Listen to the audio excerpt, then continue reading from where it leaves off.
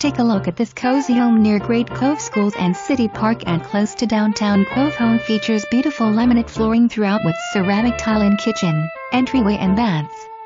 Brick, wood burning fireplace in living room with lots of space for oversized furniture.